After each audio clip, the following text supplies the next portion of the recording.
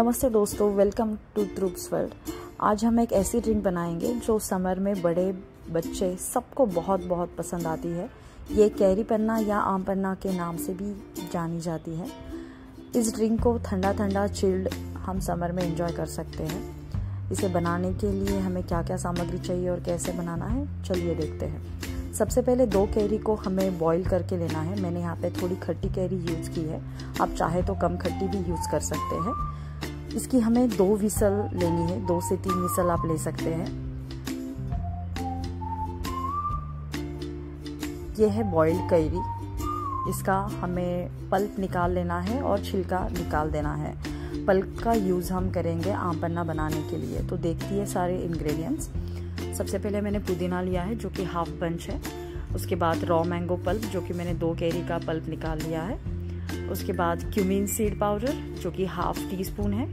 Salt और black salt मैंने use किया है पिंच ऑफ़ इट आप एज पर टेस्ट यूज़ कर सकते हैं। और उसके बाद जैगरी पाउडर ये मैंने जितना कैरी का पल्प लिया है, उससे हाफ़ लिया है ये पाउडर आप चाहे तो शुगर का भी इस्तेमाल कर सकते हैं। इन सब इंग्रेडिएंट्स को अब हम एक जार में मिला लेंगे। मिक्सर जार में मिला लेंगे।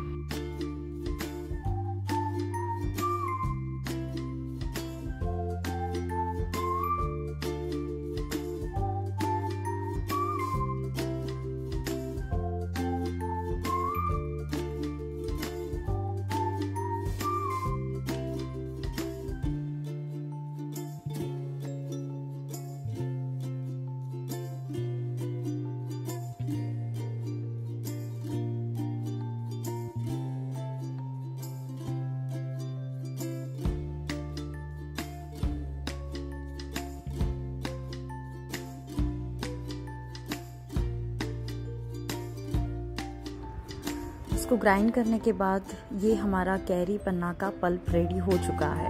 आप देख सकते हैं इसकी कंसिस्टेंसी कैसी है। मैंने इसमें पानी बिल्कुल भी ऐड नहीं किया था, जो कि हमारा पल्प की लिक्विडिटी थी, ये इतना ही लिक्विड है। इससे ज़्यादा पानी मैंने ऐड नहीं किया था, क्योंकि हम ये लॉन्ग टाइम के लिए भी स्टोर कर सकते हैं। आप इस कैरी पन्ना के मिक्स पल्प को ग्लास जार में स्टोर करके रख सकते हैं। फ्रिज में एक हफ़्ते तक ये आराम से टिक जाता है। तो आइए देखते हैं इसको कैसे सर्व करना है। मैंने यहाँ पे दो ग्लासेस ले लिए हैं। कुछ आइस क्यूब्स इसमें डालेंगे।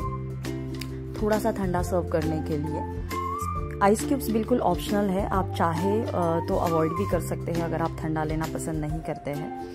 इसके बाद हम इसमें डालेंगे पल्प जो कि हमने जस्ट कुछ मिनट पहले रेडी किया है। एक ग्लास के लिए मैंने यहाँ पे एक टेबल स्पून और चाहिए तो थोड़ा सा हल्का सा आधा और टेबल स्पून ऐड कर सकते हैं। तो एक ग्लास के लिए आपको वन टेबल स्पून या one and half tablespoon of pulp add करना है आइस क्यूब के ऊपर। इसके बाद हम इसमें पानी मिला लेंगे। दोनों ही ग्लासेस में पानी ऐड करके हमें इन सबको अच्छे से मिला लेना है। स्पून की हेल्प से आप इसे मिला सकते हैं। इसे अच्छे से मिक्स कर लीजिए।